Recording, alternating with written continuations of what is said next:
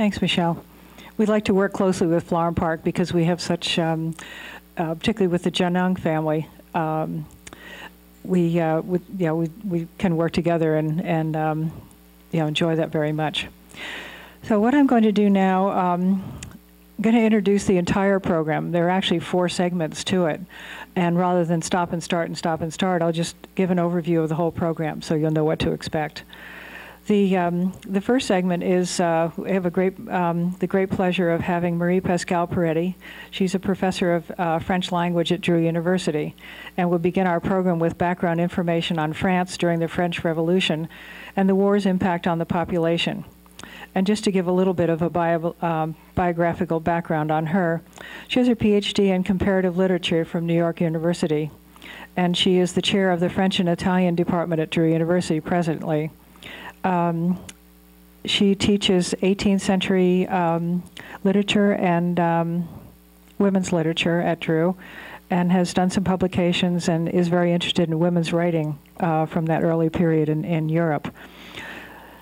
So, and then uh, after that, um, I don't know whether you've seen him or not, but many of you met Tom Genung when he was here for the program in the fall.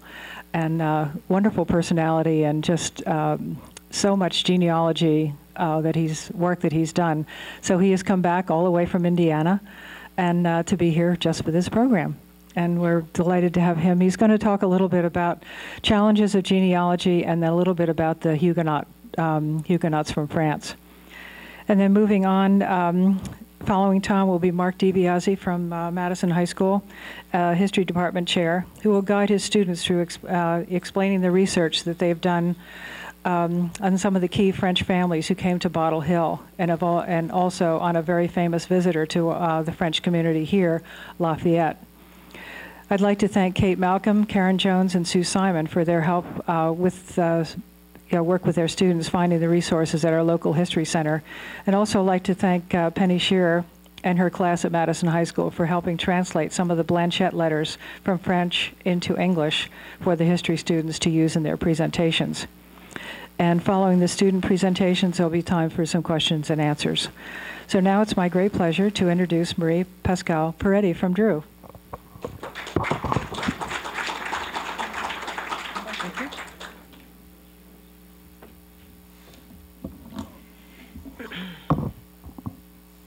Bonsoir à tous. Can you hear me? uh, first, I would like to thank Kathy Kultas, President of the Madison Historical Society, for inviting me to speak tonight. Uh, it's a very special event for me. Uh, it's an honor and pleasure to be here. I always thought I was the, French, the, the first French emigre in Madison. Little did I know that I'm merely, I'm merely a link in a long chain that extended back to the 17th century. Tonight, we will try to understand one particular facet of this long history of French immigration, specifically what attracted French immigrants to our region at the turn of the 19th century. Since I was asked to provide broad background to the study of the French uh, who emigrated to our region, I will talk first about the historical events that caused the French to flee France and its colonies. Second, I will examine the 18th and 19th century French perception and idea of America and how that helped shape the expectations of most immigrants, including those that made the smart decision to settle down here in beautiful Madison, then known as Bottle Hill. For this, I will rely on passages from travel accounts and influential French literary texts. The term émigré is the French word for emigrants and usually refers to someone who has left his or her own country. When talking specifically about the French who immigrated to America at the end of the 18th century and the beginning of the 19th century, the term émigré has a double connotation. First, it refers to the individuals or families who left France for political reasons, to save their heads, so to speak. Second, it also refers to the fact that the French authorities considered their immigration an illegal act.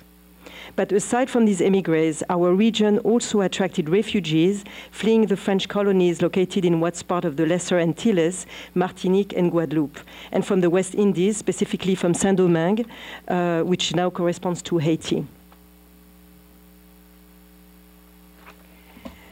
Uh, of the French presence in North America prior to our period, what is probably best known in, is the exploration of Jacques Cartier and Samuel de Champlain, Champlain that ended up in the creation of New France in the first years of the 17th century. But at the same time, many French people came to America because of religious persecution in France.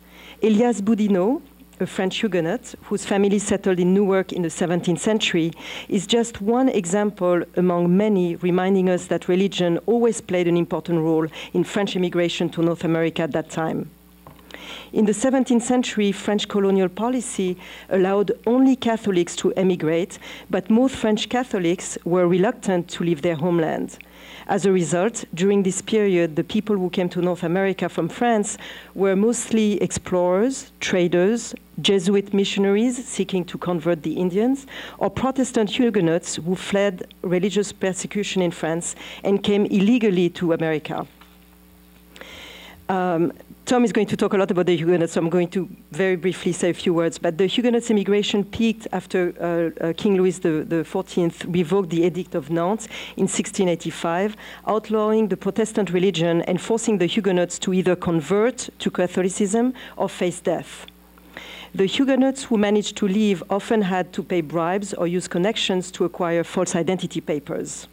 As a result, the majority of the 15,000 15, Huguenots who arrived during the 17th century in North America were wealthy and skilled, and they eventually gained prominence as craftsmen and merchants. By contrast, most emigres from the French Revolution era were Catholic, but of the greatest diversity in terms of their political, socioeconomic, and cultural backgrounds. What did they have in common, these royalists, republicans, masons, courtiers, artisans, priests and philosophers, slaves and freemen? I'm asking you, what did they have in common? Exile. They, they all fled the revolution. Okay, they all fled the revolution. And of course, they, were they fled the guillotine. Although numbers are different depending on how one counts these emigres, the figure of 25,000 seems to crop up and again in various sources as the total for those who took up residence in the fledgling United States at that time. As historian Allan Potofsky points out, the census of 1790 counted 5 million of men and women in the United States, excluding slaves and Native Americans. This meant that around 1% of the white population were emigres or refugees taking flight from the French metropole or colonies.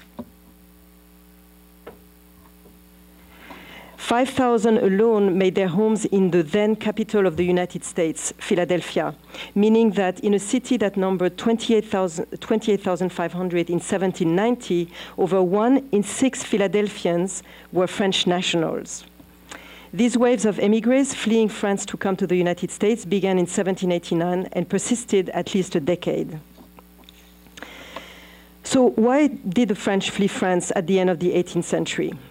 In her book, French Refugee Life in the United States, 1790 to 1800, Frances Childs shows that emigres from the French Revolution can be divided into two groups.